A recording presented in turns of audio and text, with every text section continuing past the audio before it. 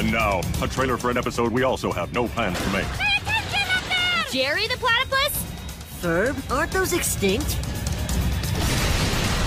As a matter of fact, I object to this union. Yes, I'm just a guy who's a sucker for the sounds of mass transit.